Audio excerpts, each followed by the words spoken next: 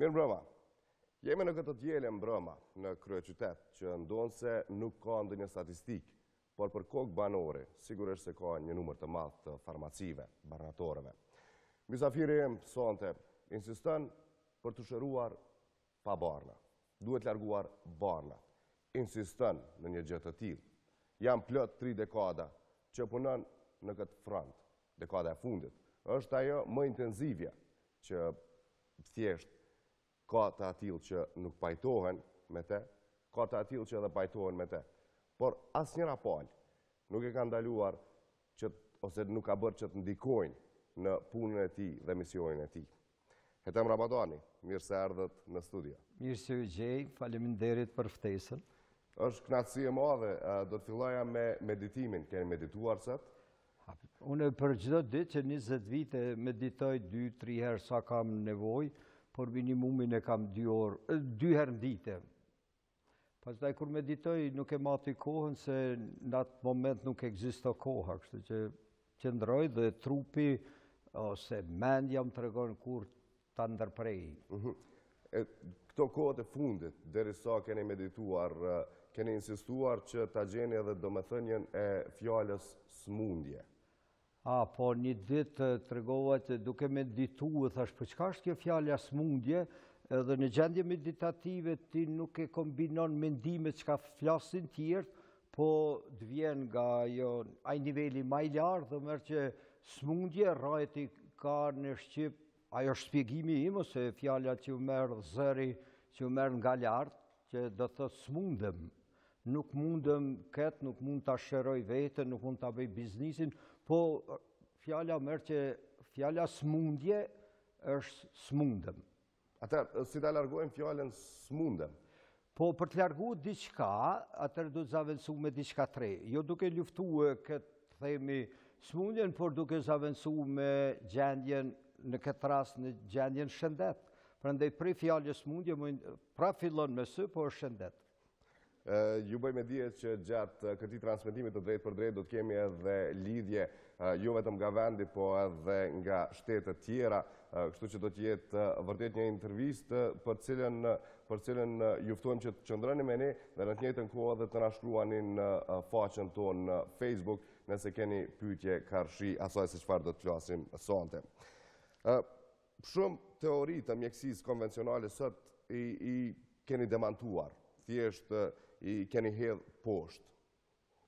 E vështirë një gjë e tillë.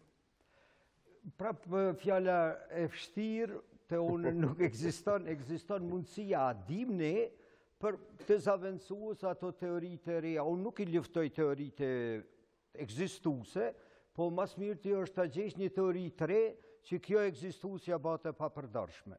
Kështu që kjo mjekësia konvencionale me me këtë dije ta themi që tani nuk është veç teori, po është praktik ku njerëzit që përdorin këtë këtë stil të jetës ta themi, ku ka ca kombinime, atëherë këta shërohen shpejt, kurse kjo teoria e mjekësisë konvencionale thotë që këto smundje kronike janë të menaxhueshme për jetën, por nuk janë të shërueshme, nuk janë reverzibile. Prandaj unë nuk luftoj, nuk i hedhi poshtë, po i hedh rezultati poshtë. A keni referenca shkencore? Unë tani ta them që merrem vetëm me shkencëtarët, jo me ata që u thojnë doktorët, po në lami që unë i studioj, janë tani ata që numërohen nishi që thojnë në shqip.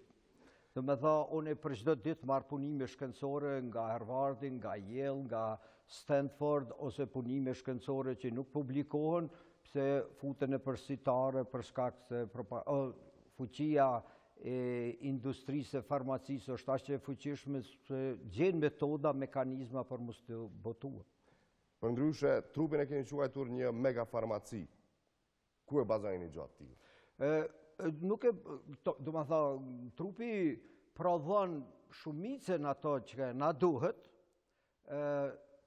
gjëra që i duhen farmaci, nuk janë nevojë për këto farmaci që janë farmaci të krijuara nga njerëzit, po shumica e gjërave që i duhen trupit, ose vitaminat ose minerale ose themi proteine ose aminoacide, ato që dohen të caktume, në momentin e caktum i prodhon trupi. Po ka dhe gjëra që do t'i marrim nga jashtë, se janë nëntë aminoacide që trupi nuk i prodhon, ose ka vitamina që nuk i prodhon, dhe tani këto janë studimet e mia ato që mungojnë, t'i bëjmë me suplemente ose me ushqim që trupi të ketë komplet, të funksionon në mënyrë normale. Do t'i kthehemi shumë shpejt bisedës, Elona Jaçellari është me ne në lidhje të drejtpërdrejtë, ajo lidhet me ne nga Tirana dhe është ndër gazetaret e para që ju kanë nxjerrë në publik realisht dhe keni folë për ato që sot e cilësoni si mision më vete. Elona, po dëgjohemi. Kjo është befasia. Elona, Elona shumë shpejt do të lidhet me ne, nuk, nuk e kemi për momentin, po desha të ndalem tek... Vetëm tani peshon nëse më falni po ndërhy në pytje, po. si të jetojmë pa ilaçe, ne nuk jetojmë pa ilaçe, se këto faktikisht nuk janë ilaçe, po janë ato që na me thënë drejtën na humbin Duke i përdor këto humbim shëndetin dhe vijmë, ato na smundin. A është e mundur të jetosh pa, pa barna, a është e mundur të jetosh pa ilaçe? Po, tani është kjo pytje relative, mvaret prej, ta themi, gjendjes që ka, nuk dot me anashkallu ose me bo me zero këtë mjekësi konvencionale, se nëpër fazat e ndryshme, në historitë e ndryshme, në momentet e ndryshme, nganjëherë është e domosdoshme, e pazavendësushme, por kjo që unë mendoj që është normale, ta rujmë shëndetin dhe mos shkojmë te ashtuqujturit doktor që na smujnë ma shumë. Ju thashë që Elona do të jetë me ne dhe e quajta një befasi. Çfarë ju kujton intervista e parë me te? Po, Elona është një ndër gazetaret e para që ka bë intervistë me mu, për shëndet para një viti, dhe para ca mujve ka bë intervistën e dytë, ku janë tetë faqe, ku kom provue me shtjellue, çka do të jetë mjekësia e së ardhmes.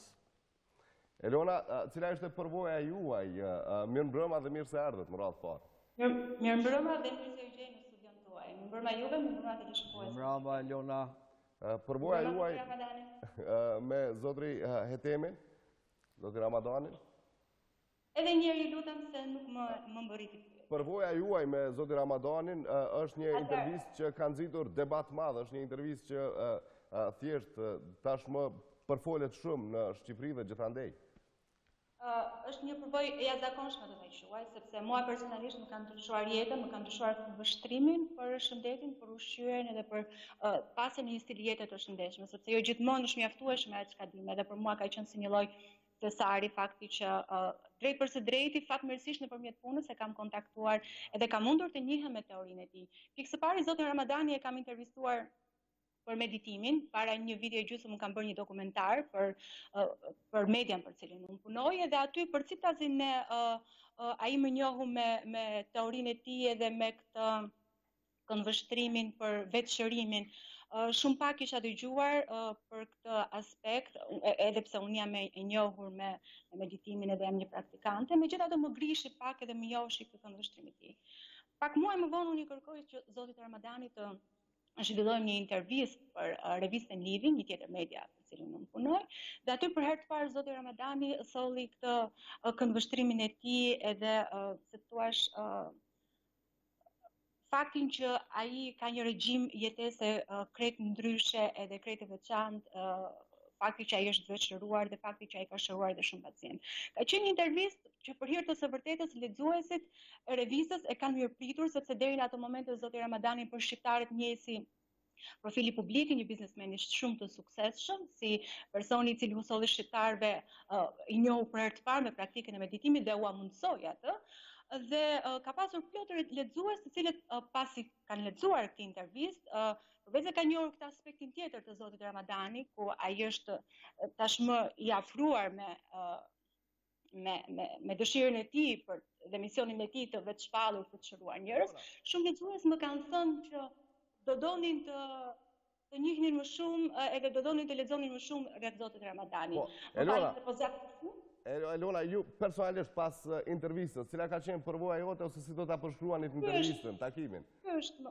ky është momenti. Ë uh, ky është momenti ku un uh, menjëherë mbas asaj interviste, ndoshta dy muaj më vonë, un konstatoj një një problem shëndetësor në trupin tim, në anën e majtë të kraharorit, un një natë uh, vërejta një një masë të dyshimtë, menjëherë shkova u vizitova, u diagnostikova dhe uh, rezultoi që masa ishte ishte uh, uh, Dyshimet ishin për një kist të inflamuar, një gjendër problematike dhe sipas mjekes unë duhet të vendosesha në një terapi medikamentoze për një muaj dhe më pas do të shihej se si do të ishte ecuria e kësaj mase edhe për të pasur për të pasur në konsideratë nëse do të kishte edhe trajtime të tjera apo jo.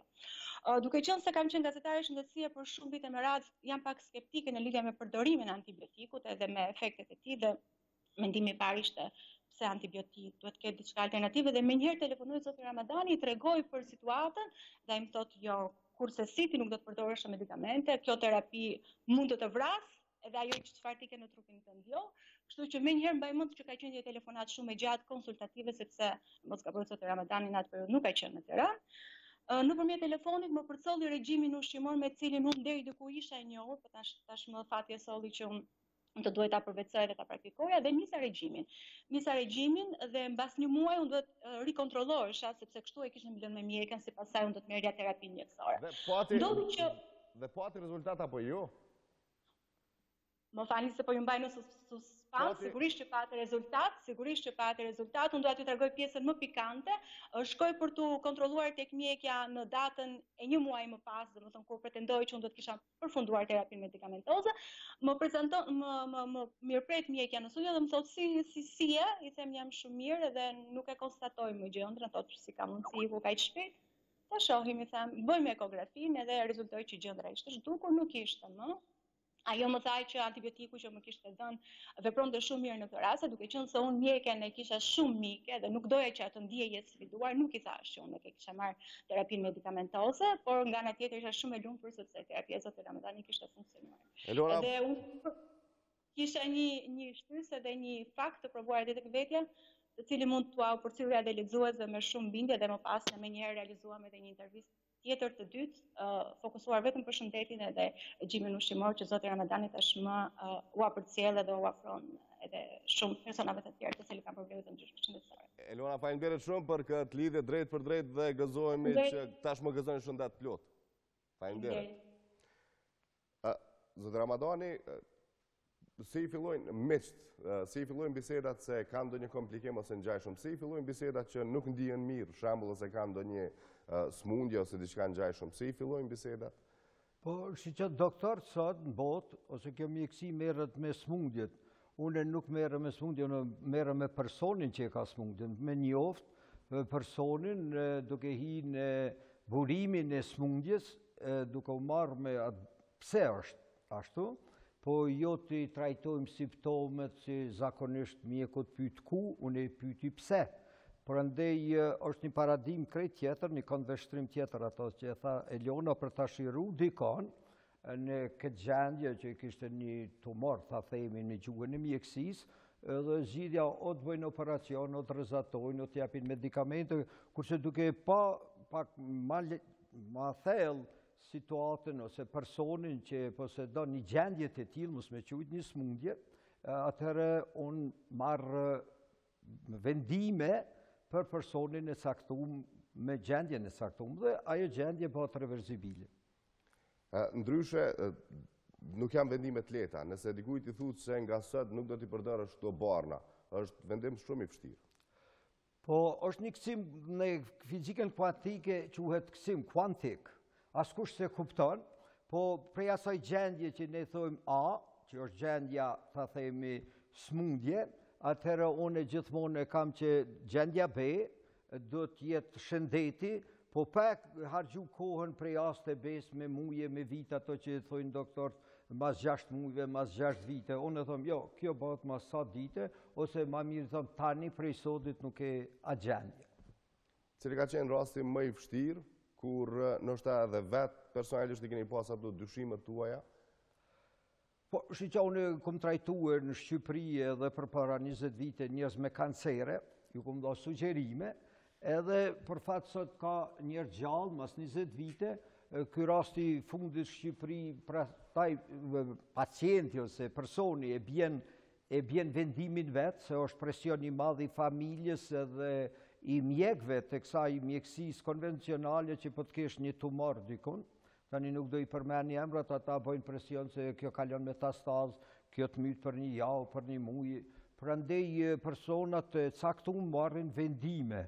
Unë jetoj me këta njerëz, për çdo ditë i thrras, po tani m'u kanë bo shumë, edhe i pyti si, kaq i shkruj dhe pastaj e fillon ngjarja, historia që e ndi veten mirë, falënderohen, po të gjitha rastet që i kam trajtu janë Faleminderit Zotit janë krejt mirë edhe shërohen, rastet e fundit ashtuqujtur diabet që nuk shërohet, janë raste që për ca dit, ato që i kam thonë te Ermali, dy javë, tri, ka ndodhë me atë personin, po nuk do flas ma shumë se ajo është ekskluzivitet i Ermalit, Kurse këto raste që i kam marrë individualisht tani janë të shumë, po janë shërue të gjithë kanë ardhë në gjendje normale me një shpejtësi, ato që thash me një kërcim kuantik që nuk na ka dasht me muaj të tërë. Do i kthehemi shumë shpejt kësaj pjese të bisedës, por do të nalemi tashmë tek zoti Fadil Çitaku, që është ligjërues profesor i fushës lidershipi dhe inteligjenca emocionale. Ka bërë edhe një prezantim në Abu Dhabi. Përshëndetje nga Prishtina. Lutem. Përshëndetje nga Prishtina, zoti Çitaku. Përshëndetje Prishtina, përshëndetje Samrina nga Abu Dhabi. Përshëndetje shqiptarë kudo që të jeni, përshëndetje zoti Ramadani. Është kënaqësia ime të jemi lidhur nga këtu, s'e di a po më ndëgjoni. Ju kemi parë në mesin e mjekve, në mesin e shkencëtarëve, ju kemi parë derisa keni prezantuar edhe temën tuaj, leadership dhe inteligjenca emocionale. Cila është marrëdhënia juaj me zotin Hetemi dhe çfarë mund të flisni më tepër? Po marrëdhënia ime me zotin Hetemi kisha rastin tash para 4-5 vite, u interesum për atë fushë që ai bën që korrelojshin me studimet e mia, u pamë Cyrih, u takum për një kohë shkurt, po dashtëm u takum për një kohë shkurt, po patëm dikun ma shumë se sa 4-5 orë më duket, është njeri, them me modesti, po është njeriu, dhe më dhënë ku ka me mençur që ka momentalisht bota shqiptare, dhe domethënë ta, ta kuptosh që këtë njeri është, është një sen shumë i mirë. Të kesh marrëdhënie domethënë shkencore me ta, është edhe më, më mirë. Çfarë mund të flisni për marrëdhëniet shkencore ose për fushën shkencore dhe a pritet që një gjë e tillë zhvillohet në fusha konkrete? Duhet patjetër, unë kisha siç e cekët dhe ju një prezantim, kisha jo vetëm një prezantim, po kisha dhe një workshop, kisha dhe një një udhëheqje të një sesioni, po kisha dhe një si keynote speaker do të thotë folës kryesor në Abu Dhabi në, në konferencën internacionale të pedagogjisë të mjekësisë, do të thotë ishin pedagog të mjekësisë nga tërë bota, profesor me renome, dhe unë si domethënë specialist i leadershipit, i kritikova mjaft, do të thotë mjekësinë dhe shëndetësinë aktuale, sepse ka falimentuar në domenët e ndryshme që të shërojë sëmundje, dhe e mora referencë, domethënë, zotin Hetem Ramadani, që po e citoj që impossible is nothing, do të thotë asgjë nuk është e pamundur, ju thashë atyne, dhe zotëri Hetem Ramadani po i shëron diabetin dhe shumë sëmundje tjera kronike, të cila Mjekësia ende nuk është tu ia gjet fillin. Kështu që në fushën e leadershipit ne ne kritikojmë senet, domethënë që nuk shkojnë mirë, që shkojnë në jo aq mirë. Unë jam edhe përfaqësues i një domethënë një qendre të ekscelencës, edhe na jemi jemi mjaft kritikë, domethënë edhe ndaj ndaj mjekësisë më moderne, siç është për shembull Zvicra ose edhe edhe domethënë edhe shtete të tjera natyrisht, kena mangësi shumë të madhe në lidership në këtë lami. Unë kam bërë studimin e lidershipit, do të thotë duke investiguar tri tri shtete gjermanofolëse dhe tri anglofolëse, do të thotë edhe këto anglofolëset, por edhe gjermanofolëset, nuk ju patë shku mendja domethënë që t'i investigojnë këto, këto kompetenca të cilat i patën publikuar në British Medical Journal, që është një prej zhurnaleve më prestigjioze, po i erdh radha, domethënë, shqiptarit t'Kosovës, mos flas shumë për veten time, nga Drenica, që për botën gjermane dhe edhe anglofolëse t'i investigoj këto kompetenca, kështu që jam i thirrur në për konferenca me renome më të madhe botërore që të jap fjalime të ndryshme. Pak du t'flas për veten, po kthehemi prapë te koncepti i i zotëri Ramadanit, i cili është multidimensional, që si quhen, ai do flet vetë ma mirë, sepse është krijuesi i tina, mirëpo mjekësia momentale domethënë ka sfida të jashtëzakonshme. Nëse shiqojmë na, do të thotë vetëm qelizat e kancerit. Para 100 e kusur vjetëve e kemi ditë, domethënë e kanë ditë shkencëtarët se si po bëhet kjo, domethënë shumimi i atyre qelizave t' kancerit.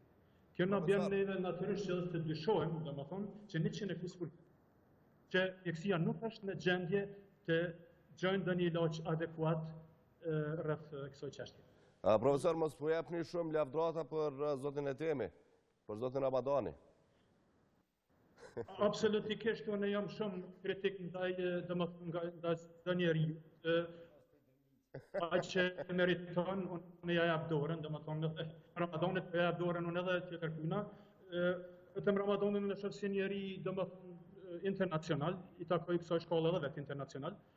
është një rastësi që të dytë jemi lind n'Drenicë, mirëpo vetëdijesimi, domethënë, e ka po atë të vetën, edhe na lidhin shumë sene, domethënë shkencore na lidhin, sepse Ethem Ramadani flet shumë për inteligjencën emocionale, të cilën unë e kom edhe bukë, kom zanat edhe lidershipin, domethënë, inteligjenca emocionale është bazë e lidershipit, pa atë nuk shkon fare, sene shumë t'thjeshta që Zotëri Ramadani munet shumë pas kësaj me, me, me spjegu nëse don, po vetëdijesimi bëhet domethënë empatia e të tjera këto që ju mungojnë shumë liderëve, sepse problemi është unë jap një një kritikë vetëm në praktikë.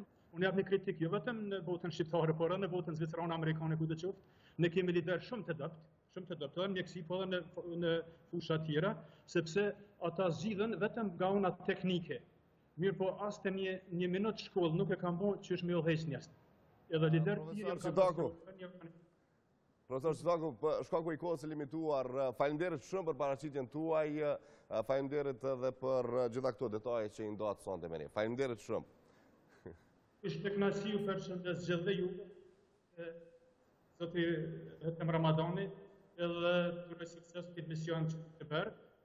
E ke bërë për, domethënë për shkaqe humane, se me sa e njoh unë Ethem Ramadanin, nuk i mungojnë do të thotë të hollat e paret, andaj çdo shkencë, domethënë, që domethënë, çdo tentim, që ka dhe me, me t'i ndihmojë shtresës sociale, domethënë, përgjegjësia sociale, që është në modelin tim të lidershipit, është në radhën e parë,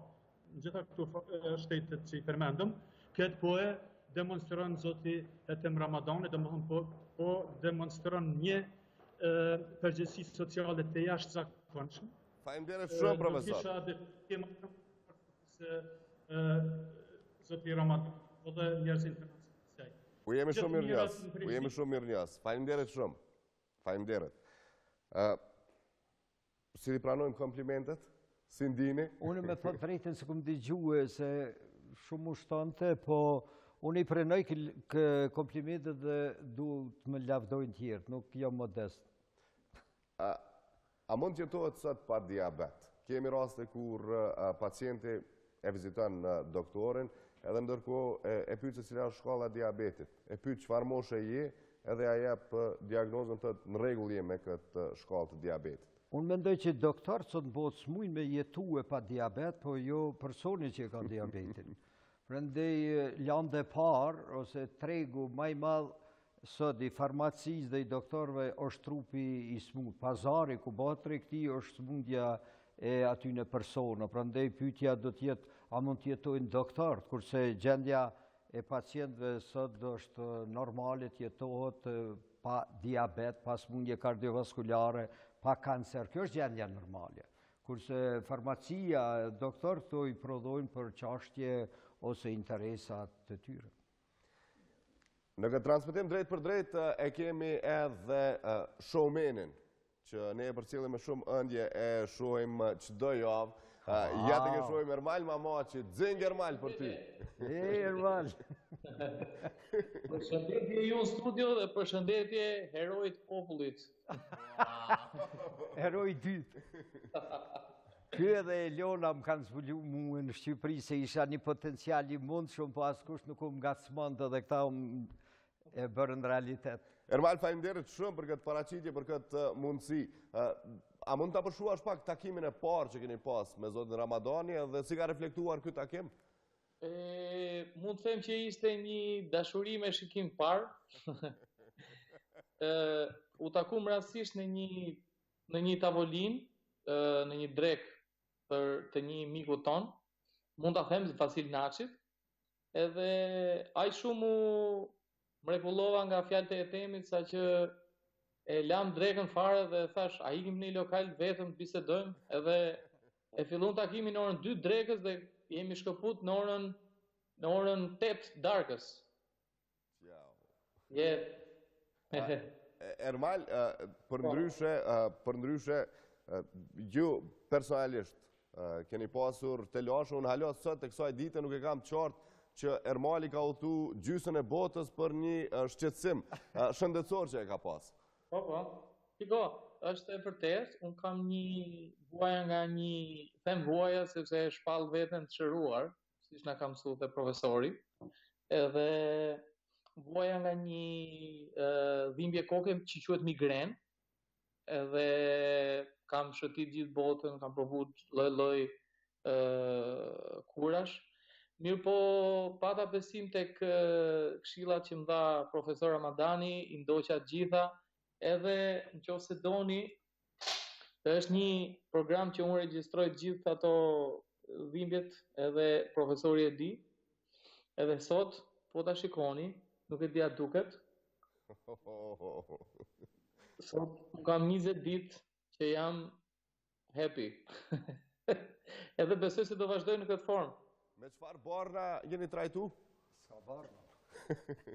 Tani s'e di a lejon profesori ta japi informacioni, po domethënë që vetëm kam ngrënë ato që më ka thënë profesori edhe kam pirë ato që më ka thënë ai. A keni besuar që do të ndodhë një gjë e tillë? Unë e quaj mrekulli, besoj që e quani edhe ju. Sigurisht, në fillim them të drejtën, ishte një çikë e çuditshme sepse siç e dini ajo dieta me bazë yndyre është një çikë e vështirë për t'u besu, po uh, unë jam shumë i mendjehapur dhe besoj që gjërat e reja dhe që janë jashtë uh, mendimit në kornizë. Kështu që besova që në fillim edhe besoj se funksionoi. Ermal Mamaqi si gjithmonë versionin e tij më të mirë. Faleminderit shumë për këtë paraqitje sonte. Faleminderit shumë. Dua ta falenderoj dhe profesor Ramadanin për gjithë këtë nismë që ka, edhe shpresoj shumë që në të ardhmen të krijohet një vënd ku njerëzit vijnë ta takojnë me rend profesor Ramadanin. Faleminderit shumë Ermal. Faleminderit. E përvoja juj me Ermalin. Po, ashtu që, siç e tha, ishëm të ftuarit e shokut përbashkët Vasil Naço, kishte ai përvjetorin, para ca mujve, edhe ky më tha, ka qenë një ngjarje për mu me taku, pastaj shkum e lëshumë at ngjarjen edhe u ulëm, Edhe ndërkohë më tregon, jo, më tha, unë du me t'marrë në intervistë menjëherë, thash jo, jo, nuk vij, se s'kam nevojë. Pastaj më tregoi ka një problem, ato që tha me migrenë, ka shku në Amerika, ka shku nëpër Evropë e tjera, në Kinë, edhe unë thash, unë të shëroj, dhe nëse të shëroj, unë vij në emision, edhe ishte kushti. Po, tha, jo, jo, eja, eja, thash, jo, jo, se s'kam ça flas, Nëse ti je i smurë, unë po të thom që unë e shëroj, atëherë po bëjmë kusht. Por, ishte një kusht që unë e due me ardhë me pa frigoriferin, se ai filloi me më tregue ku i dhem, cila pjesë, se mjekët e kanë da kokën disa pjesë, trupin disa pjesë, thashë jo, jo, nuk e shikoj ato, unë e shikoj frigoriferin, burimin. Edhe të nesrit më thirri në shtëpi, edhe Prapë filloi Ermali që të më tregon si dhem koka, çfa merr, e kështu me radhë, që ka pastaj 24 orë, pastaj që sa vite, mas mëngjesit, bjen, han mëngjes, pastaj shkon flen, se ka lodhje, që ajo është gja normale. Unë i thashë prapë nuk po të dëgjoj, du me shku me pa. Edhe frigoriferin E pastruam të gjithën, pak i bona do. E pastruat nga çfarë? Të gjitha që ai kishte, i lashë një birë. E pastaj të nesrit shkum, i tregova ku është bashkëburimi, nuk o frigoriferi, po shkum ne aty ku vjen në frigorifer, shkum në një vetëshërbim, edhe i thashë, këtë sektor nuk do ta vizitojsh mo, po vetëm këtë pjesë. Edhe kështu filloi, i dhashë ato rekomandimet që unë i di, Edhe ca suplemente, tani sigurisht që asnjë njeri me 15 vite vuajtje, se migrena është vuajtje me dhimbje të papara, edhe besoj që ndërkohë ngadalë-dalë u bind dhe tani e bënë sa një ditë, se ai, i, ka, i shenon. Po, po. Mija dhimbje që sa vite, unë i thashë jo, bone ma pozitive. Mos shiqo kur po të dhem, po shiqo, numroji ditët që nuk po të dhem. Edhe që sa ditë i tregoj, se nja dy herë i boni ca lëshime, e provokoi vetën, një ditë tha, kam dhim, prap, thashë çka ke hangër mram. Edhe më tregoi drejt, thashë këto mos i merr. Ma ka prish dy herë atë recepturën, po inteligjenca e trupit nuk lejon. Nëse e ndigjon, ajo tregon që ngadalë.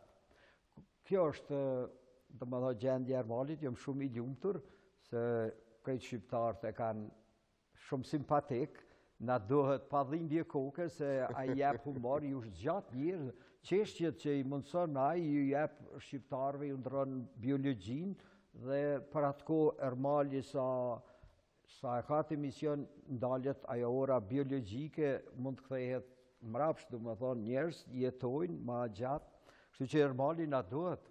Ju kam parë edhe që keni medituar në emision për një minutë. A, ka zgjat ma shumë, se unë kur futem në meditim nuk ka kohë, mendja e hup kohën dhe në ato minuta trupi nuk plaket. Kështu që e provum edhe ato. Shqiptarët me meditim si janë? A e kanë vështirë?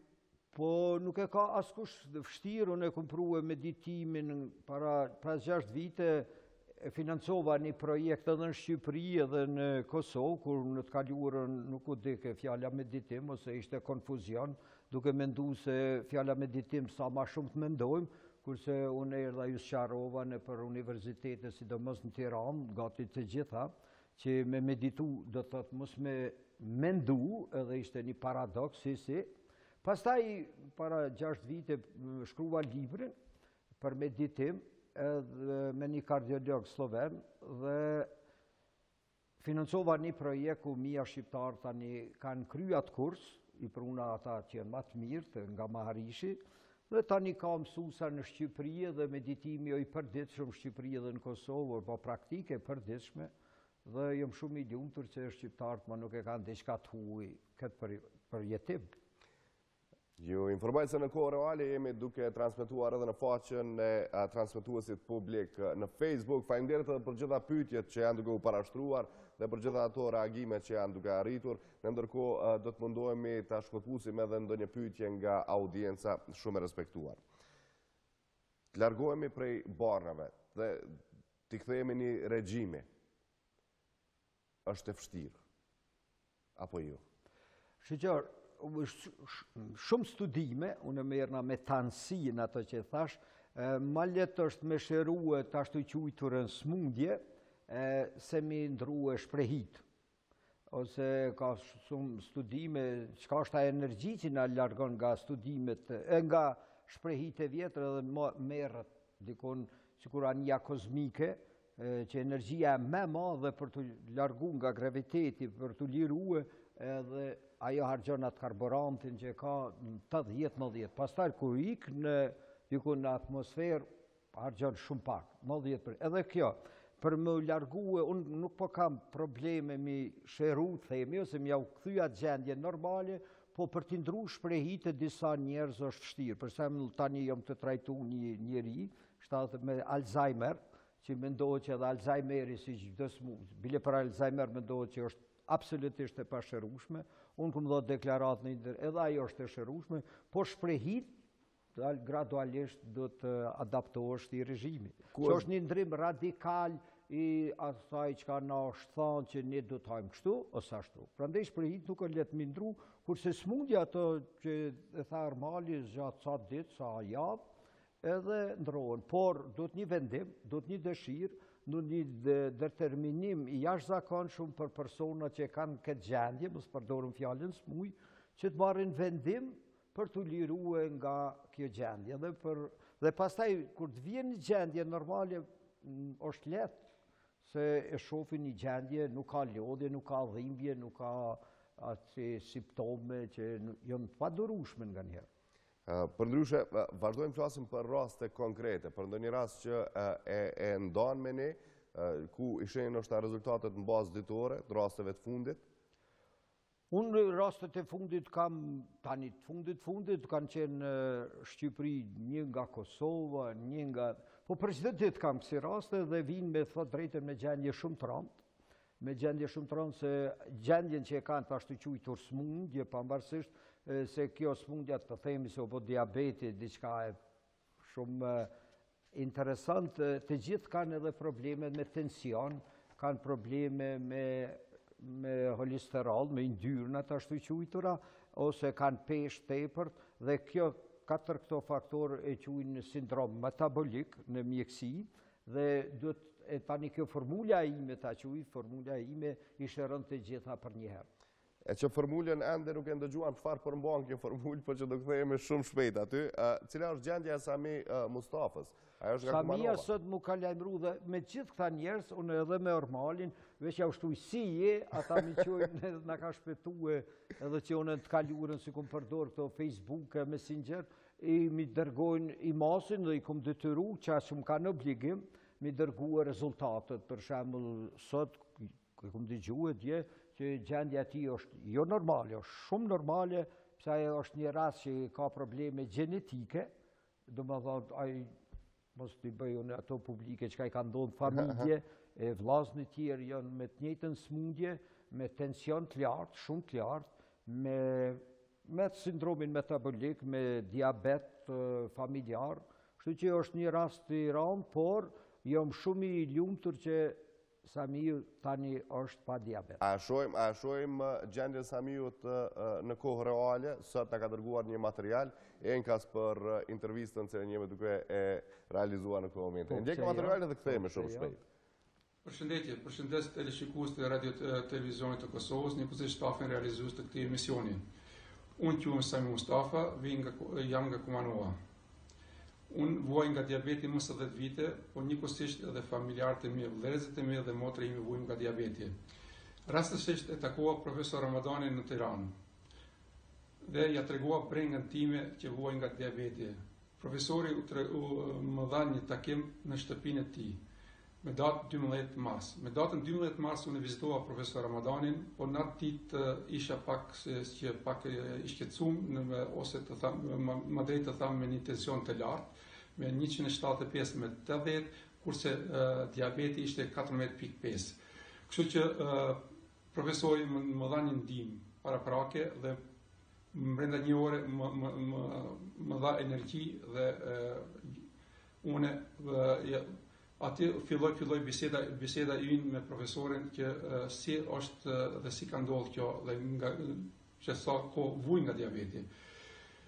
Si e thashë më parë, unë vuj që me mbi 10 vite dhe ia tregova se me çka ushqehem dhe si ushqehem dhe çka pi dhe çka ha. Kur i ndëgjoi gjithë këta profesori më tha gjithçka duhet t'i largosh dhe në rast se je i gatshëm t'i përmbahesh recepturës time, tha unë të shëroj nga diabeti. Dhe ashtu edhe veprova. Profesori më më dha recepturën dhe i premtova profesorit që unë do t'i përmbahem kësajna recepturës.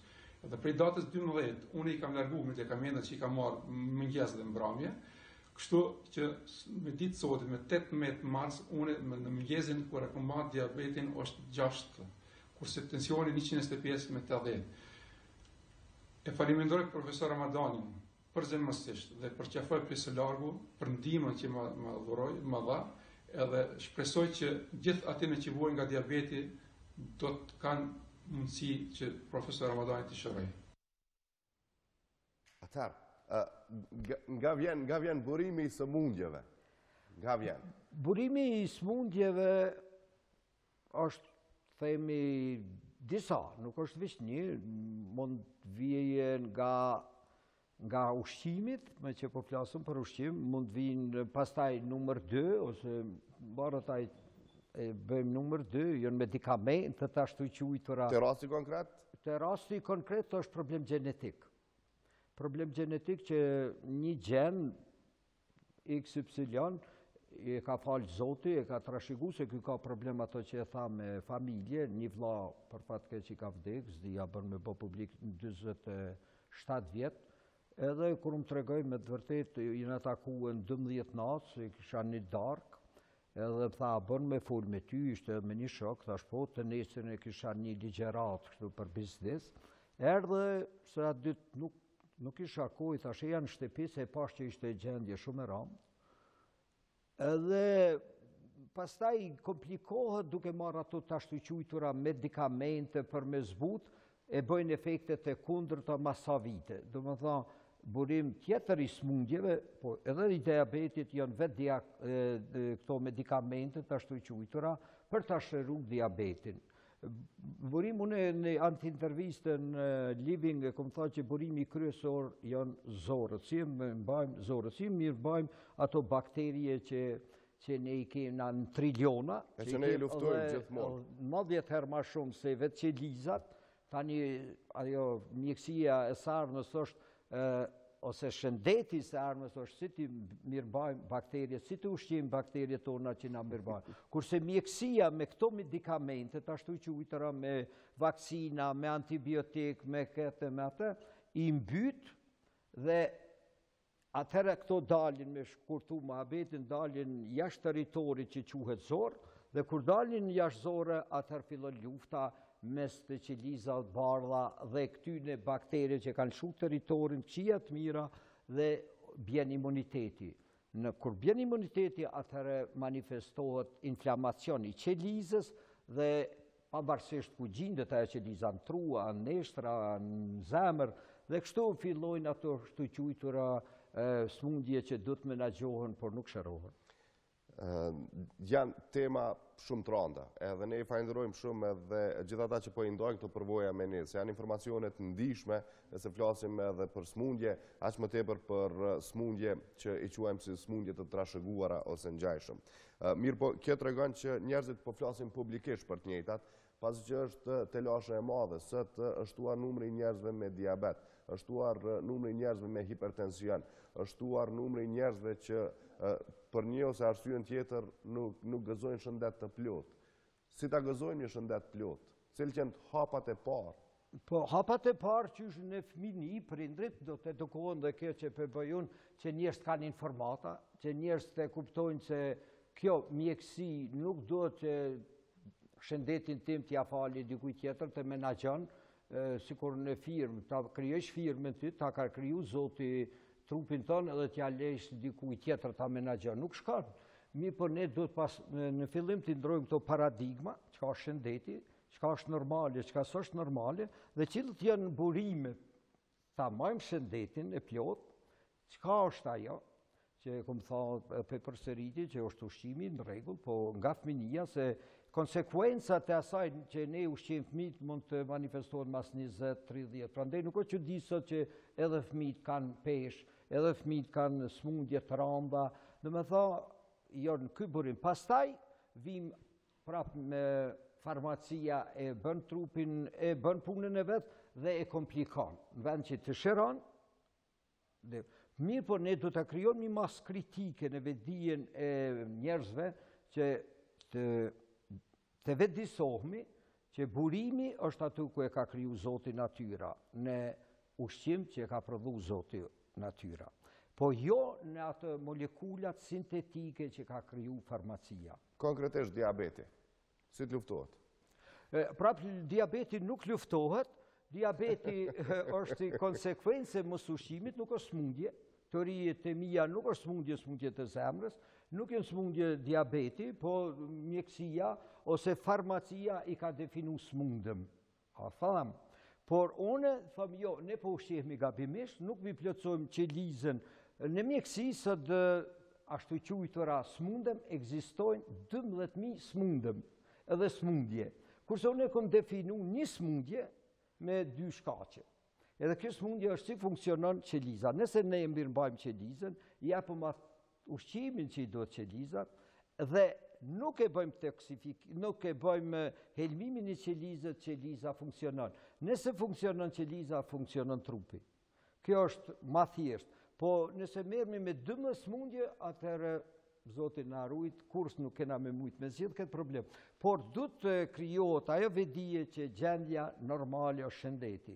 me një regjim t'caktum që do të krijojnë shprehi nga fëmi, nga fëminia, nuk ka nevojë me shku te askush. Dhe ne du ta menaxhojmë, menaxhojmë këtë gjendjen tonë, domethanë, kjo është mjekësi funksionale që bahet prej PPP. domethanë preventiv, e parashikushme, personale, dhe të ketë perspektiv kjo, dhe në fund një R që është reverzibile nëse nuk i respektojmë këto P-ja. Cili është regjimi konkretisht? A mund të flasim? Po, regjimi konkretisht është të ushqehemi mirë, të ndrrojmë paradigmet që yndyrnat, ato që e kum thanë, yndyrnat janë të dëmshme, se edhe këto holisterolet, të gjitha duhet një ndrrim radikal, Një këndvështrim tjetër me duke e provue te njerëz, për shembull, zotëriu ose ai tjetri, duke të gjithë ta kanë tension të lartë, që i tha Samiu, edhe kanë problem me diabetin, të themi diabetin, fakti kur i bëj një pytje me orë të tëra, ato që e thashë nuk merrem me smundjen e tyre, se ajo nuk ekziston, ekziston regjimi i tyre që i ka prue. Kjo është si efekt anësor, Por, pra, thashë, për me manipulu me ne mjekët e farmacia, thotë o smundje, ti smundësh, kurse kur i ndigjoj unë me orë të tëra, del që janë ushqy gabim, ama të gjithë. Dhe unë ia hjeki atë ushqimin e gabuar, i jap se unë e kum qujt ushqimin inteligjent dhe ushqimin budalla.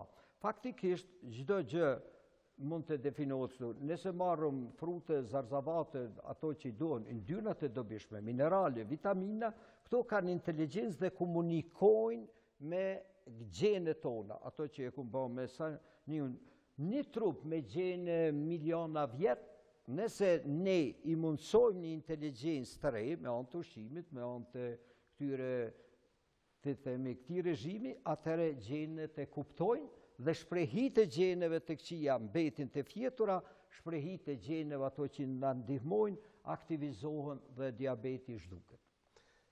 Ushqimi, aktiviteti fizik dhe meditimi. Kjo është ai trekëndshi, cilin Po... Besoj duhet me përcjellë çdo njeri. Po, tani, nëse, tani duhet patjetër nëse dojmë mos me shku me na gjue dikush smundjen. Po, kjo kish me qenë një trekandsh, shumë mirë që o, një piramidë, që baza mund të jetë ushqimi, Pastaj aktiviteti fizik mund ta qesësh aktivitetin fizik, pastaj ushqimin dhe meditimin në fund, po njëna pa tjetrën mund të ketë efekt, po të trija po e një sinergji që një e një e një nuk janë më tre, po janë 30.000. Kjo që po ndodh me këta njerëz. Edhe duke i hjek ato që thash ato elementet toksike, duke ndrua ambjentin, se sot element toksik është edhe telefoni edhe edhe interneti, domethënë ka plot pastaj detale, por kjo është mund të themi që është baza. Duke hjek gjitha ato medikamentet që Na i ka përshkru dikush? Shëndeti dhe suksesi nëpërmjet meditimit libri juaj. A ka mundësi gjitha këto që po i flasim t'jenë përfshira në një libër edhe realisht t'i referohemi të njëjtit?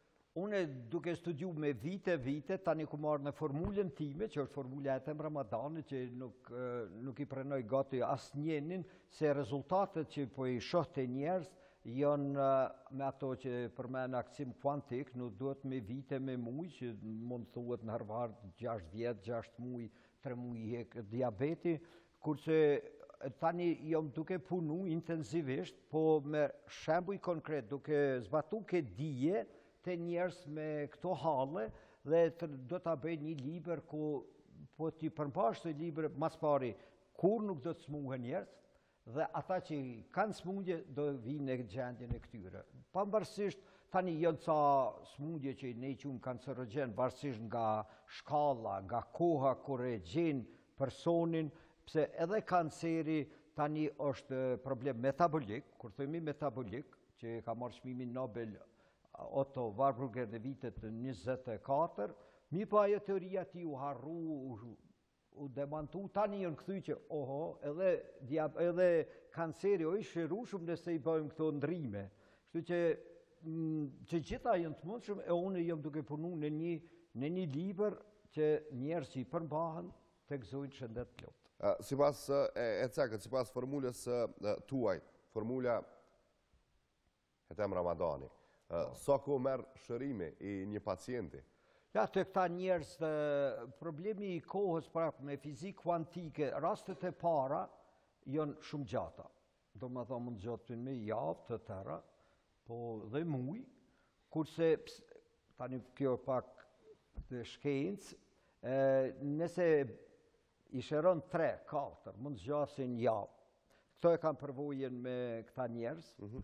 që po i shifni. Rasti dytë, bëhet shumë shpejt. Kjo është në fizikë kuantike, kur u bo izolimi një molekule, për shembull, në kristale, ka zgjatë me muj tërë, gjashtë muj. Kur kanë fillu molekulën, rastin e dytë u bo me sekunda, me minuta, pse në memorien universale, domethënë kjo përvojë, ose kjo që po flasëm, shkon lart ose në fushën unike ose zoti e regjistron, kurse në rastin e dytë ndihmon, se është diçka e regjistrume nga përvoja që ka ndodhë, do me thon, asgjë në univers nuk humb. Kështu që rastet e para zgjasin, rastet e dyta e thirum, memorjen, që është lart, sikur iCloud, kur fotografia nxihet ajo, e çon kur duhet e kthen. Prandaj, kur vepron ti në këtë dhe ki mision për të kontribue, atëherë e ki përkrahjen e ligjeve të natyrës dhe shumë shpejt këto po ndodhin tani, rastet e para, me thon t'drejtën me diabet, kanë ndodh me muj, Para sa vite, kurse tani janë për, për sa ditë. Tani rasti tjetër mund të jetë për sa orë, pse ekziston një dije univerzale ku edhe ky, gjendja e këtyre njerëzve këta participojnë në univers dhe i kemi suport. Po kjo fenomen ndodh në çdo fenomen tjetër në shoqëri E në mjekësi, e në shkencë, e në biznes. Gazetari ynë Islam Haxhiu ka qenë tek familja e Blerim Rexhës nga Gjakova. Çfarë ju thotë emri i tij? A, oke, edhe Blerimi, se ky ka qenë të njëjtën ditë në shpinë time, edhe ai është një rast shumë i randë, që kishte diabetin kogja vështirë, pastaj smundje tjera kronike, që nëse don ai i bon publike, Po me tension, se secili paraqitet me tension, edhe rasti te Ermali, atë ditë nuk na tregoi që e kishte tensionin, e kem pas edhe një rast tjetër atë ditë, se tërë ditën e tërë natën, e kur e pyta unë, a ki tension, jo, tha, kurrë s'më dhemb. Kur e mata ishte 200 me 113. E ndjekim rastin e Gjakovës, oh. Blerim Rexha. Jo, po, ju më pas m'keni befasu e befasu. Ju lutem. Ja, universi, pa bo asgjë, gjithçka e ki. Blerim Rexha nga Gjakova është pacienti më i ri i Profesor Hetem Ramadanit, i cili falë këshillave dhe udhëzimeve të këtij të fundit përmes metodës së mjekësisë alternative po e ndien veten shumë më mirë vetëm brenda katër-pesë ditëve që kur edhe ka filluar vetëtrajtimin. Por, cili ishte kontakti i parë i Blerimit me Hetem Ramadanin? Diabeti m'u ka shfaq para disa viteve, edhe me terapi s'kam mujt me ul atë nivelin, jam detyru me kalu në insulinë. Edhe kështu që ato nuk bishin vlerat e sheqerit. Kështu tu iu falënderu profesor Hetem Ramadanit, e pata fatin ta takoj në Tiranë me një kongres që e mbajti ai. Shkum Tiranë të honën me 12 mars në Tiranë, në ora gjashtë, u majt konferenca, kur maroi konferenca, po, edhe pat pytje, përgjigje, polemika, kundërshtime. Një ndër to, Edhe unë iu afrova profesorit, thashë profesor, ki mundësi, me m'lon takim, du më, më kam nevoj. Tha po mor si jo, tha shkruje emnin e shkrova, nesër tha hajde, shkova në mëngjes, e më ka prit me shumë dashamirësi, me shumë knaqësi, sikur pritjen që din me bo shqiptarët. Edhe jem ul aty e kena bisedu qaq bukur me to, edhe më ka thonë, për shka ke ardhë, thashë qështu qështu e kam hallin për diabet. Tha, je i sigurt, thashë, po, thashë, i sigurt. Tha, a, betohu para familjes që do t'u përmbahesh rregullave të mija, thashë, betohem përsëri, edhe më mur me shumë, Ai bëni ndëshkrimin tim, unë them. Rexha na tregoi edhe detajisht se cila është receta e ushqimit e këshilluar nga profesori, të cilën tash e pesë ditë po i përmbahet me përpikmëri, duke përfshirë këtu edhe aktivitetin fizik dhe meditimin. Sa i përket trajtimit të ushqimit, mu m'ka propozu që bukën zero, sheqeri zero, Edhe ushqim këto soka, soka që kanë, janë zero, po. E unë e kom kthy këtë terapin që ka profesori me një sallatë, perime të ndryshme, e tu i fut edhe kësi voj ullini origjinal. Edhe kështu që vojin e ullinit e përdori edhe tri herë, tri luga gjelle, mëngjes drekë dhe darkë, përndryshe edhe në mëngjes e ha qët sallatë, kur bohet 24 orë, Përveç ujit, unë asgjë nuk përdori. Edhe kështu që unë jam ma vital, jam ma i lirë, ma i sa. Unë këtë terapi e kam tri javëshe. Unë jam tek në javën e parë, kur tash është dita 5, e kam ndryshime, do me thonë, radikale. Blerimi shpreh mirënjohje për kontributin e profesor Ramadanit që në fakt po ndryshon jetën e tij në aspektin shëndetësor. Unë jam falënderues, shumë për këtë njeri, unë e çmoj shumë e veçoj, është një njeri me shpirt madhë, bujar edhe shumë i dashur. Në bazë të vëzhgimeve dhe eksperiencës jetësore, profesor Hetem Ramadani aplikon atë që sot quhet mjekësi alternative, e cila realisht pretendon të jetë partner me shëndetësinë konvencionale në tërësi, por natyrisht me një qasje tjetër. Derisa ndëgjuam, mrekulli, derisa ndëgjuam, tha që kam ndryshime radikale. Konkretisht? A ndryshime radikale, po unë i kam atë formulën time që thashë që ja nëse dojnë, unë i jap disa alternativa.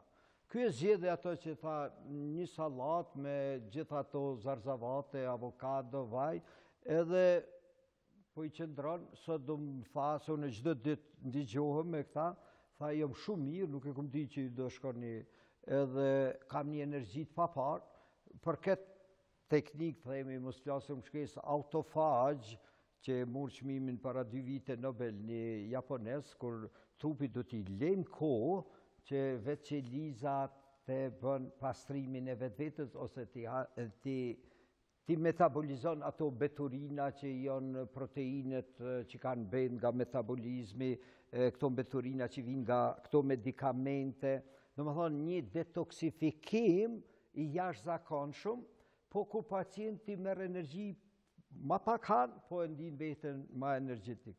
Pse ka prapë ajo qeliza e kryen funksionin. Domethënë për këtë e ka marrë zotëriu çmimin Nobel. Dhe këto dituri, ose këto këtë shkencë unë e zbatoj te këta njerëz dhe këta habiten, kur i thu ti për një javë, ju doket andërr, ju doket që... Unë i thom provone, trupi nuk rren, unë muj të bëj çfarëdo fjale, po rezultati do... Kjo është pyetja, nëse kjo farmaci ose kjo mjekësi konvencionale, ose ne e quajmë ato që Fadili merret në lider që quhet rezultat, a je lider i mirë, a je kompani e mirë, në fund matet me rezultat. Nëse nuk ka rezultat, domethënë edhe nuk je menaxher i mirë, nuk je lider i mirë. Prandaj, kjo është trupi, Ka atë inteligjencë që nuk të gënjen. Por trupi duhet me i dhanë ne mos me bllokum inteligjencën që kemi, atë farmacinë që kemi. Çka bëjmë ne? Me këtë farmaci, me këto mendime, me këtë ne e bllokojmë inteligjencën që na ka dhanë Zoti. Është një rrëfim i jashtëzakonshëm që sonte po e ndëgjojmë këtu në RTK një. Ndryshe jemi drejtpërdrejt edhe në faqën tonë në Facebook RTK, ku janë duke arritur me qindra pyetje e që të njëjtat do i selektojmë dhe nëse na premton koha patjetër disa prej tyre dhe do i parashtrojmë për të ftuarin tonë, zotin Ramadani. Kushton, e gjithë kjo çfarë dëgjuam, terapia, insulina, gjitha medikamentet, kushtojnë, e kanë koston e vet, e papërballueshme realisht edhe për 90% ose 99% familjeve që jetojnë në Kosovë, pavarësisht nëse i kanë edhe kushtet mirë. Në anën tjetër, e kemi një recetë ose e kemi një trik ose magji realisht që ju po afroni. Mund ta quani çka doni. Po cila është kosto e saj? Kosto e saj është që nuk je i smut, nuk ka, të themi, që ashtu ashtu duhet të ushqehesh. Vetëm çka ushqehesh, Zgjidhja, seleksionimi vendos se ti të jesh i shëndetshëm. Domethënë, tani kur je në këtë gjendje, sigurisht javën e parë ose dy javët e para, tri, unë jap suplemente që ta katalizojmë ose ma mirë me tha ato që je ushqy gabimisht, ato toksike që thamë burimi, mund të jenë medikamentet, mund të jetë kjo që e thithim ajrin e tjera, ose një dhamb i prishur që Ta ka mbush mjeku mund të jetë burim toksik që ta smund zemrën, trurin dhe unë e kam atëherë një formulë që thom merrni ca ditë këto suplemente që janë të domosdoshme ato që thashë është mungesë e suplemente na nuk kemi mungesë të ashtuquajturave ilaçe ose të kësaj farma ne kemi mungesë të proteineve, yndyrnave, karbohidrateve të dobishme, mineraleve dhe vitamina, po nuk kemi asni mungesë në trup, për shkak prap Zoti na e ka dha atë gjendje të qelizës që nuk kemi mungesë të këtyne këtyne ilaçeve të ashtuquajtura e t'i fusim n'trup. Kjo i bjen me fjalë tjera, sikur me tha kena mungesë të germa gjuhës shqipe, e t'i huazojmë do nga italishtja ose nga kinezishtja, atëherë e prishim gjuhën shqipe. Ne i kem 36 germa dhe flasim shqip. Tani çka ndodh, sikur ose anasjelltas, t'i marrim diçka, t'i hjekim këto germa zanoret dhe e prishim strukturën e fjalës. Kurse duke i marrë këto suplemente, duke i marrë vitamina, ne i të themi prapë në mënyrë alegorike ose metaforike, ne krijojmë gjuhën e biologjisë që i duhet njeriut. Atëherë kjo gjuhë komunikon, që është gjuha e qelizave, me këto proteine, me këto dhe e ngrisim inteligjencën dhe flasim shqip ose gjuha e shëndetit. Ose e ndërhyjmë, e nxjerrim një germë, sikur me thanë, hetem, ia hjekim e-në, atëherë hup kuptimin. Kështu ka ndodhë me farmaci, për po ndërhyn në ato që Nuk është normale. Dhe po mundohna tash me pak, me 7 minus zanore të flasim shqip. Po flasim, po flasim natyrisht për projekt të madh. Kemi parë me qindra ose me mijëra receptura që japën të ushqimit. Se realisht na po e shohim që burimi i sëmundjeve është edhe mënyra e të ushqyërit. ose mënyra se si ushqehemi. Kemi parë me qindra, me mija e përsëris receptura se si të ushqehemi. Pse me besu te receptura jote? Unë e kom thanë në intervisten Living, një autor në Universitetin e Stanford, tani nuk e maj men emrin, i ka marrë 10 vjet studime me receptura. Dhe ka ardhë në përfundim, tani s'e ka pasë atëherë n'atë kohë edhe timen, tha të gjitha që janë rekomandu kanë qenë gabim. Tani... Në çfarë kuptimi? Në kuptim që nuk ka pasë rezultat.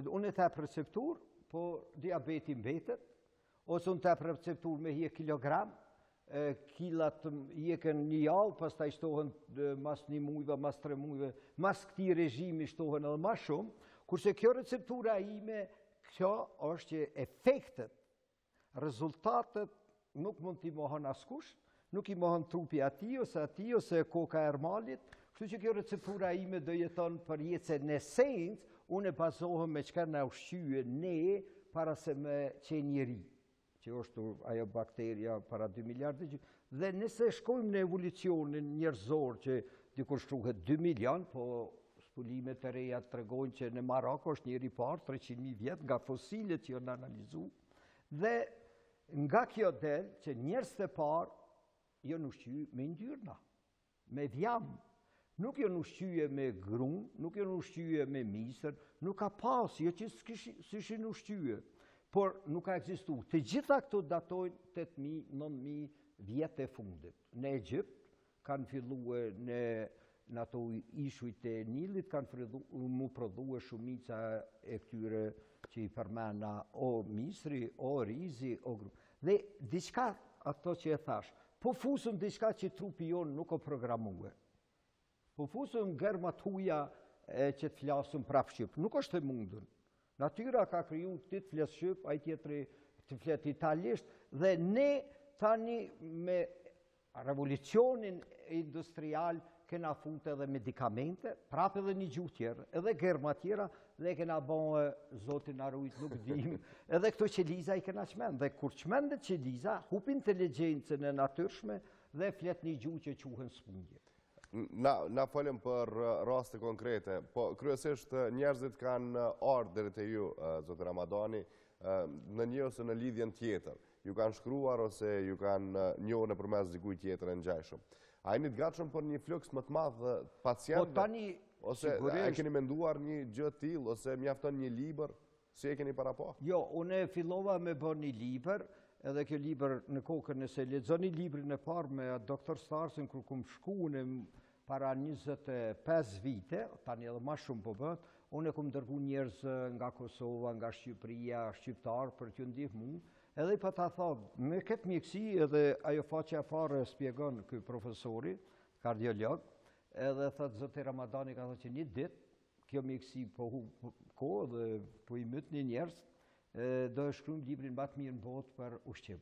Tash do ta shkruj vetë, mirëpo kjo ka qenë para 25 vite, e ka pranu ai në ato raste, domethënë që kjo që kam ka ndodhë mu e njerëz që i kum çu për kancere, kanë qenë të shëruar, dhe tani do e bëj këtë libër, por një ditë thash ka dalë, në biznis ose një jetë ma shumë flet një shembul, se njëqind faqe. Dhe kjo libër do të jetë libër e spjeguar shkencërisht, do të jetë për njerëz që nuk i intereson ato faqe shkencë, absolutisht, sikur këtyre zotnive as nuk i intereson. E donë rezultatin? Vetëm rezultati, do të jetë praktik, do të jetë shkencor, dhe do të jetë me shembull konkret që mos më thonë në Shqipëri thojnë ia futi kot e s'ka me rezultat. Kurse këta njerëz Kanë shku nëpër botë. Ky zotëriu Samiu jeton në Zvicër, ku është industria, një ndër industritë më të mëdha të farmacisë atje. Dhe kur i pyeti ju në për çka të kanë thonë, ja, kjo është zgjidhja. Merr kësi barna që pini ju, merr helme edhe shiqojmë kur po vdes. Një detaj kisha dëshirë me u ndalë, te kocka e legenit që faktikisht ju e patët të lënduar e patët të thyer realisht.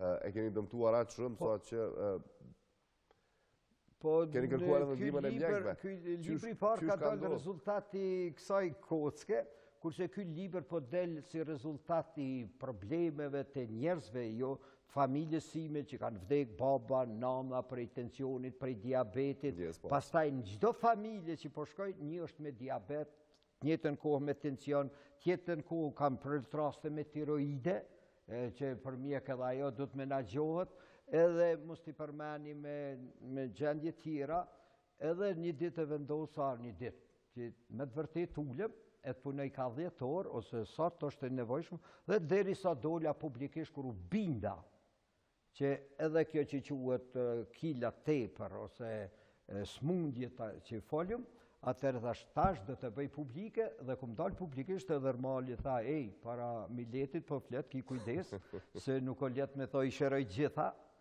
ose kum fol para profesor Isuf Kalo që dihet kush o ka punu në organizatën botërore, ka udhëheq një departament ose një drejtori në organizatën botërore të diabetit, por zgjidhje nuk kanë pru. Dhe ai u bo burrë i madh, që unë i falenderohëm, që një doktor i asaj mjekësie konvencionale, pat trimërinë me akceptue një hetem, edhe me fol ballë për ballë për një alternativë tjetër. Dhe ky është lider që krijon një masë kritike të mendohet dryshe, veprohet ndryshe, të flasin ndryshe, dhe këto një ditë banë shprehi. Dhe këto shprehi të reja që provojmë me kriju, atëherë na çojnë në një destinacion që do quhet shëndet. Po këtu, në botë, është o banë normale që gjendja e njerit të jetë smundja, smundëm, Kurse për mua, duke i ditë këto, e di që gjendja normale një ditë do të jetë shendet, shendet. Dhe fëmijët tonë e kem obligim që atë memorien universale ta pajisim me kësi shembuj që fëmijët tonë i kanë në iCloud atje dhe nuk ka nevojë pastaj me shku me marrë këto medikamente. Ju du ta dini që farmacia harxhon dyfishin e parave për propagandë, për marketing, e një herë harxhon lek për, për zbulime të reja. Domethënë, kjo zhurmë e propagandës, duhet tani dikush, a e ka emrin hetem, a e ka emrin televizion, të fillon ndryshe. Nuk luftohëm, ne po bëjmë një projekt të ri me shembuj konkretë, të argumentuar në shkencë, të provuar në trupin e njerëzve dhe nëse zotërit të farma zbulojnë diçka, sensibilizohen nga një alternativë, le ta gjejnë një formulë magjike që njeriu. Por sot nuk kanë gjetë as në Amerikë, as kërkun për 4 ditë, 5 ditë që njerëzit e kanë një tension prej 200-ve në ato që tha ai tjetri, ai tjetri e gjithë tjerët, Ose ky zotëriu që me migrenë, ose tjetri me tiroide, tash ju s'kini mujtë me i marrë të gjithë këta njerëz, unë i kam njëmijë mesazhe në ditë, se u krijue një një mantër e re që ne mund të jetojmë pa këto... Dhe kjo tani është realitet. Raporti juaj me mjekët? Raporti im me mjekët unë e thashë nuk i luftoj, unë i dua ashtu si janë, kanë heshtë në intervistën e thashë në televizionin shqiptar para 4-5 dite gazetari ma bani, po pse mjekët po heshtin e ti po punon, ose unë s'po punoj kundra mjekve, unë po due me i shëru njerëzit e smundë dhe me majtë ata që janë të shëndosh mos me ra n'atë gjendje.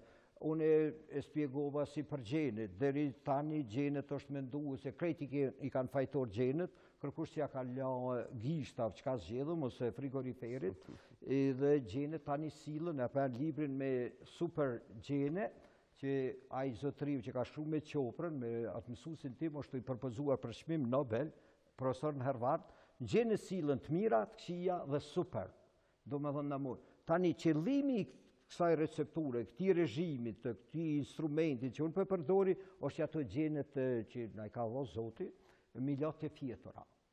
Sikur dritën me fik jemi në terr, edhe nuk shohim ku me na dëmtue. Unë i thashë që edhe këta doktorë, po gati janë gjumë, shumë mirë puna.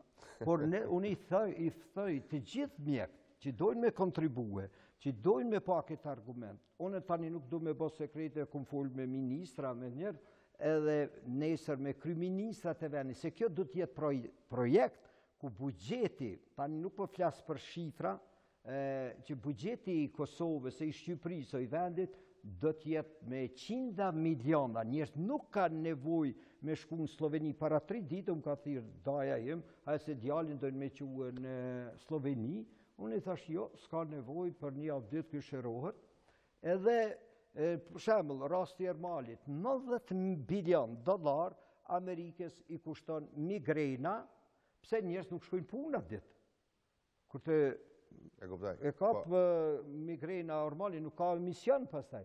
90 bilion, 25 milion Amerikanë janë smut prej migrene. Mos të thom që 1650 vetë çdo ditë nga kanceri vdesin Amerikë.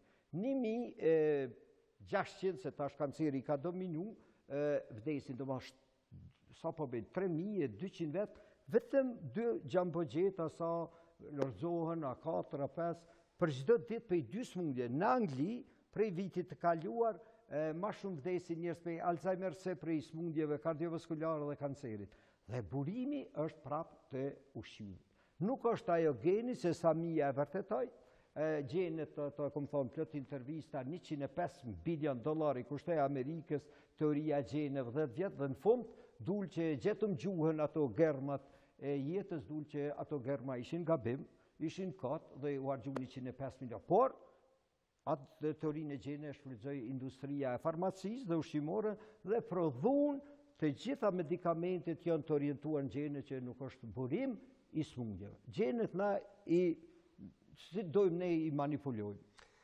Ne do kthehemi shumë shpejt pas një shkëputjeje të shkurtër publicitare, përderisa do kthehemi edhe me pyetje që kanë vërshuar tashmë në faqen tonë RTK, ku jemi duke u transmetuar në kohë reale. në Facebook dhe një pjesë të tyre natyrisht që do i parashtrojmë për të ftuarin tonë të veçantë zotin Hetem Ramadani. Kthehemi shumë shpejt. Jemi rikthyer në këtë transmetim të drejtpërdrejtë këtu në RTK një dhe derisa e patëm këtë shkëputje i pamë edhe me qindra pyetje realisht që kanë arritur në faqen tonë në Facebook në RTK karshi intervistës dhe karshi recepturës për cilën po flasim ose formulës së zotit Etem Ramadani. Disa prej pytjeve të atyre që na kanë përcjellur që na kanë shkruar, janë me qindra që e kërkojnë kontaktin realisht ose duan bijnë kontakt me ju. Cila është mënyra ma e lehtë lutem? Dhe ta qesin qëllimin ose synimin në univers dhe e gjejnë. Kështu që si um ka gjet ky zotëriu, prej Kumanove që jeton në Zvicër, ose ai gjakovari, unë në kohën që e kam, do t'jau fali, ose do të bashkëpunoj me këta njerë që ka nevojë. Domethënë tani nuk muj me dhon një kontakt, se unë jam ato që thamë në çdokund dhe askund, Po aktualisht jom në Kosovë, edhe do kthehem në Tiranë, edhe i mirëpres të gjithë, tani nuk muj m'i prit, po jom duke punu në atë projektin që tha Ermali, do t'jetë një qendër fillestare, ku njerëz do e kejnë adresën, do punoj tamon, m'i prit njerëz, jo nëpër shpia, nëpër po, filloj hapi i parë, domethënë ka fillu, thashë që 25 vite merrem, po në mënyrë pak jo të organizuar, kurse tash ja kom fal kohën këtyre njerëzve që absolutisht do jetojnë ato mos t'i përsëriti fjalë, do jetojnë pa pa këto gjendje që jonë jo të lehta. Disa prej pytjeve pa zbuluar edhe identitetin e atyre që i kanë parashtruar. Si të, si ta shërojmë stomakun, thartinën, kur dihet që gjithçka fillon nga stomaku dhe mendja? Okej, në rastin e thartinës po ju tregoj diçka, nuk do e bëj sekrete, nuk do ta zbuloj sekretin, sot e kom marrë një lajm që jom gëzu shumë, para se me ardh në studio, një mik i imi, që ka shku në Amerikë, nëpër institucionet ma t'mdhaja të Amerikës, që 15 vite, por në 5 vitet e fundit, ka kontaktu emrat ma t'mdhej t'botës, Po kjo do të jetë një ditë ndoshta në studion tuaj, se është një njeri tani s'ka njeri të madh, po është i nderuar me rezultatet që i ka dhan Shqipërisë dhe pi jep njerëzimit në biznes, e ka pas këtë problem që e përmende t'acidit dhe mirë që e bëre këtë pyetje, e mjet edhe ato e kanë menaxhu dhe njerëzit nuk dinë, e kom pas edhe unë këtë problem, t'japin për me ul acidin. Tani, gjitha studimet, po m'shkoj shkurt, tregojnë që nëse i përdor mbi dy javë, mbi dy javë ato për me ul acidin, atëherë mundësitë për me pasë kancer janë 300%. Nëse i përdor 20-30 vjet në Amerikë, vetëm prej kancerit të fytit, kur të vjen ky acid i lartë, 17.000 vet regjistrohen prej këtij. Prandaj këto do të hiqen sonte, sikur që thash jo nesër, pse është problem Me këtë recepturën time, me formulën time, zotëri u më lajmërua që 5 net flen normal, Pasi i ka vizitue John Hopkins, institut ose universitetin më të madh, Mayo Clinic në Amerikë, e i ka vizitue edhe nja 20 doktorët më të mëdhenj të lamisë së tij në Amerikë dhe i kanë thonë ty mirë që ta menaxhojmë ose tjera tjera. Prandej Duhet largohen prej kësaj dhe ekziston formula më e thjeshtë me ushqim, absolutisht për të largue. Por, nuk është ajo që i kemi acid, se bakteriet e kanë shumë territorin dhe pra mos shpjegojmë shkencë në këtë emision dhe ne ndim vetën atë poshtë pak ma tepër se acid, Edhe ajo ulja e acidit është problem. Jehona, për qenë sa më, sa më fleksibil gjatë setit të pyetjeve dhe përgjigjeve. Jehona, andaj të jemi sa më të shkurt, lutem zoti Ramadani. Përshëndetje ju lutem, mund ta pyesni zoti Ramadanin me çka mund të zavendësohet dëshira për sheqer dhe saksisht ëmbëlsirën.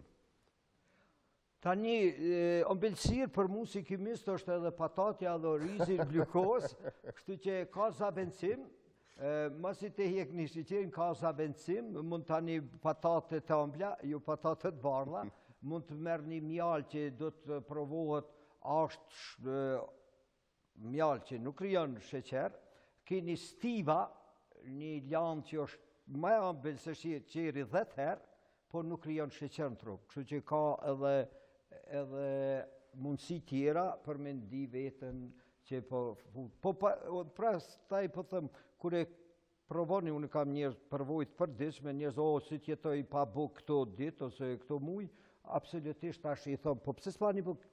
Na ka humb shija. Kështu që varet prej vendimit tyre për me qenë shëndosh, pastaj a ka dëshirë me hangër ëmbël, është çashtje, masi të provon këtë gjendjen pa diabet. Vjen një prej komenteve, Ramadani thotë krejt kjo çka po folni është hajgare, filozof i shkëlqyshëm. A ju prekin këto komente? Unë nuk flas, flasin rezultatet. A nuk më prekin, kështu që çdo teori e re, e kam thonë në librin e parë, kam citue Schopenhauer, një filozof gjerman, ku thotë çdo gjë e re njëherë kritikohet, shahet, përqeshet, luftohet, pastaj pranohet. Kështu që këto nuk më prekin edhe është Nëse jom filozof, pse jo, po këto kjo shkencë, edhe shkencë e përzirë me, me, me filozofie e përzirë me shkencë. Vjen komenti thot Lumnia, a mund ta pysni zoti Ramadanin çfarë mendon për sëmundjen MS, multiskleroz realisht? Multiskleroza, ato që thash, kur dalin këto bakteriet e e jashtë territorit që quhet zorrë, fillon lufta dhe të mos ushqyrit e mirë, pra poshtë me ushqim, bahet multiskleroz që në mjekësi është e pashërushme dhe kjo është e shërushme. Vjen komenti tjetër, sa kushton receptura për cilën ne po flasim? A ka kostën e vet? materiale. Po, sigurisht, nëse don me ble brokli, duhet me, tani, duhet me i pagu, nëse don me hangër zarzavate, duhet t'i pagush, tani, kosto, po kombinimi mund të jetë problem, hanë edhe bukë dhe ato edhe smuhesh, kurse kosto nuk ka kurgjë speciale, bile në kalori, ato që kam thonë me marrë ma shumë kalori nga yndyrnat, kushton tri herë ma lirë shumë se me hangër sheqer. Vjen Agroni përmes meditimit a mund të shërohet edhe diabeti i tipit 1?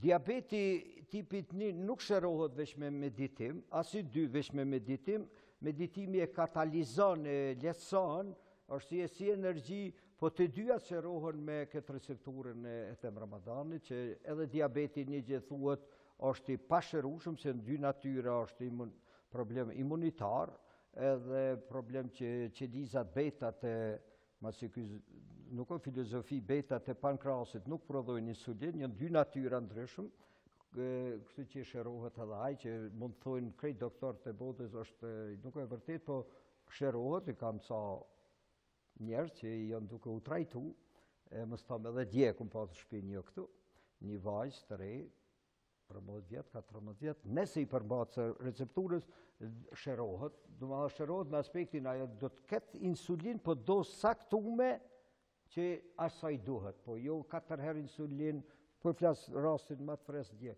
4 herë në 12 natës duhet me i dhanë insulinë, që ajo doza e tepruar është toksike dhe pasojat janë shumë të randa.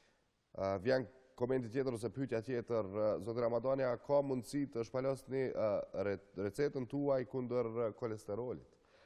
Tani shumë pyetje me vend, nuk ka recepturë kundra holesterolit, se kolesteroli është bë propaganda e farmacisë që ta ulim normën e holesterolit, holesteroli është i domosdoshëm, kam thanë edhe në intervistë për qeliza, për të funksionu, Problemi është që është bë aq propagandë që e kanë da holisterolin të mirë e të keq, e shkencërisht është të dyjat janë të mira, edhe ai LDL që thuhet është i keq, është transportusi i ushqimit për me ushqy qelizën, çdo qelizë është e mbështjellun me holisterol, çdo qelizë e trurit është 67.7 holisterol, e kam thonë n'intervistë, po përsëriti, të gjitha studimet shkencore, të pamanipuluara nga farmacia, tregojnë ulja e holesterolit është vdekjeprurëse, sidomos mas moshës 7-60 vjeçare, te njerëz që një ditë, Në gjuhë ta dinë që ka me qenë ma problem ulja e holisterolit, numrat e vogël, së të mëjt, dhe me thonë njërë që kanë holisterol, kanë mundësi që zvoglojnë me statin, smuhen shumë ma shumë prej kancerit, 1500 herë, kam thonë n'atë intervistë, që nuk e kam thonë, po shkencëtarët, 1500 herë nëse një Ulja e holisterolit, njerëz mund të shkojnë deri në vetëvrasje, smuhen prej shumë smundjeve të rënda, prej Alzheimer e tjera, domethonë holisterol nuk do të kemi frikë nga holisteroli, ajo që quhen, po sigurisht ka shkencë këtu prej një lipoidit LPO që i dëmton enët e gjakut dhe holisterol, ne do të kemi kujdes si me i mbrojt enët e gjakut, jo nga holisteroli, Nga mungesa e këtyre që i folëm t'yndyrnave, vitaminë, një mungesë e vitaminës C, dëmton kolagjenin që është një proteinë që merr pjesë në çdo ind, njësoj edhe te enët e gjakut. Kështu që këtu o shkencë, mos u mërzitni për numra, duhet të mërzitni edhe shkencëtar pej grimcave, Te holesterolit të ashtuquajtur të keq, ke grimca të mëdhaja edhe të vogla. Ato të mëdhajat, nëse është struktura në LDL e madhe, ajo të mbron, nëse është struktura e LDL-s e e vogël, ajo të dëmton, ajo oksidohet dhe ajo mund t'i dëmton enët e gjakut. Dhe ato fillojnë ato pllakat, arteroskleroza, Po edhe për këto në këtë recepturë, absolutisht ato që u bo me Demaçin, është reverzibile, që mjeku në këtë libër i thot, do të vdes për dy javë, thot Demaçi për këtë punë është gjallë, Kështu që njerëz këtu po nguten me i ndrru enët e gjakut e bajpasa e kështu, edhe këtu janë Pak prap propaganda, interesi, e tjera, por holesteroli nuk është problem ajo që është spjegu, janë problem kjo strukturë, janë probleme raporti mes triglicerideve dhe HDL-ës, nëse ky raport, nëse i kini HDL-ën ose atë holesterolin të ashtuqujtur të mirë, të lartë, trigliceride të ulta, që me këtë recepturën time kam përvojë njerëzit Pej treqind trigliceride e katërqind kanë ardhur në gjendje normale, nëse kjo recepturë rrit HDL-ën dhe ky raport është një me dy ose më i vogël se një, atëherë do të jeni siguruar kundrejt gjithë infarkteve të tjera. Me këtë recepturë nuk do ketë më infarkt, kush e përdor, Edhe nuk do të ketë sulme ashtuqujtura të papritura. Janë edhe me qindra e qindra pytje tjera, mirëpo kjo me fjalë tjera është edhe koha cilën e patëm të rezervuar për këtë intervistë. Zoti Ramadani, e përmendët shumë të nderuarin zotin Demaçi. Përpos zotit Demaçi, e kemi dëgjuar edhe një intervistë me rastin e dhjetëvjetorit të pavarësisë. Rrëfime të jashtëzakonshme, cilat ju kanë përcjellur edhe në Rambuje, cilat ju kanë përcjellur edhe në raportet themi gjatë viteve nëntëdhjetë. Për politikanët tanë, a mundesh me dhanë një konkludim, a i kanë marrë për bazë këshilat tua? Po, varësisht nga koha, kanë marrë ca këshilla, por jo për shëndet, po kanë marrë, sigurisht, tani nuk është mirë që të flasëm ndoshta çfarë këshilla u kom dhonë, por në historinë e Rambujesë, nuk du me folë më, se mos të m'u bo bajat, po fola në intervistën, kush o interesum, mund ta ndëgjon, Kështu që kom qenë këshiltar, tani s'do me i presidentave gjatë kohëve të ndryshme në Shqipëri atje. Tani a m'kanë ndigju dhe a i zbatojnë është problemi si kësaj recepture. Nëse dojnë m'u shëru këta njerëz, duhet me ndigju diçka që i vlen. Po nuk po flasëm për. Nvaret kush ndigjon, apo ndin, apo ndigjon është diçka tjetër. Gjëndrat tiroide, janë përmbi pesëqind pyetje që na kanë arritur gjatë kësaj kohe, në mesin e tyre po dominojnë gjëndrat tiroide. Çfarë mund të flasim për të njëjtat? Absolutisht, ato që e thash për këto, edhe kam këtu rastin, me t'thom edhe vllavin tim, që e ka pas shumë probleme me tiroide, dhe mos t'ia përshkruj ato simptome, se mjekët merren me simptome, jo me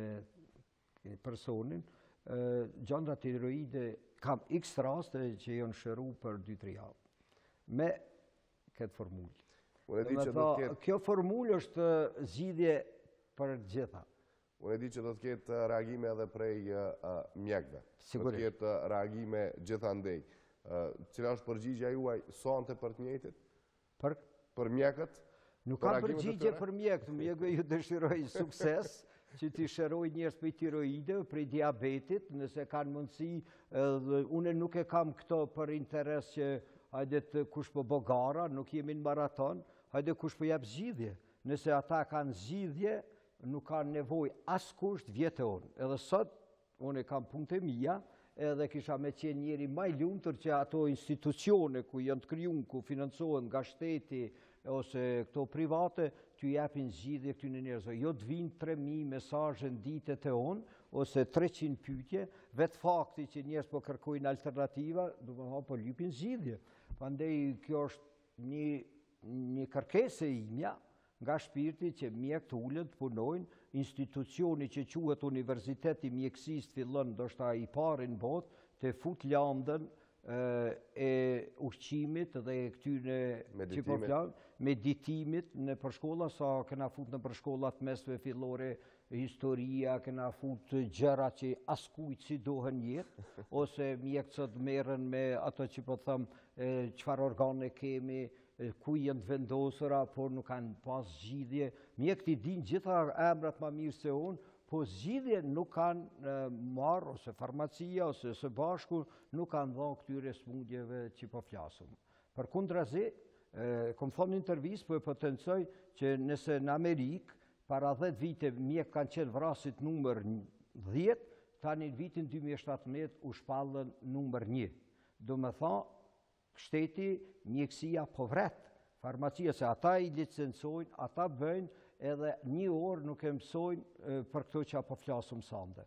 Prandej kërkesa ime është edhe në shkolla fillore, edhe të mesme, të futet landa ushqim dhe s'kem nevojë për mjek, s'kem mjek mund të kryjnë fakultete tjera, po jo të merren çdo rrugë tri barnatore, çdo shpi o bo klinikë. Kështu që kjo është një paradoks që qeveriat, qeveritë tona, duhet të mendojnë çka është zgjidhja. Po nuk është zgjidhje mbytja e simptomeve me ilaçe e pastaj po bohet konfuzion çka po ndodh me trupin e njerit. Domethonë, mjekët sot merren me simptome, po jo me sistemin trup. Edhe në këto ilaçe ashtë aspirin, ashtë kjo e ulin përkohësisht ose dhimbjen, por nuk e zgjidhin problemin. Hajde, t'i kthehemi jetës së shëndetshme, t'i ballafaqojmë mendimet mes mjekësisë konvencionale dhe mjekësisë alternative, edhe të shohim se si mund të jetojmë më mirë, më shëndetshëm. Është një rrëfim i jashtëzakonshëm, është edhe një ogur i bardhë, është një paralajmërim për një cikël të emisioneve që do të realizohen në terren, që do të realizohen me raste konkrete, jo vetëm në Kosovë, po edhe nëpër botë, edhe të shohim nga praktika, se si ka ndryshuar jeta e njerëzve dhe patjetër, t'i kthehemi asaj që e ka dhuruar natyra, edhe të vazhdojmë jetën me natyrën, aty janë të gjitha.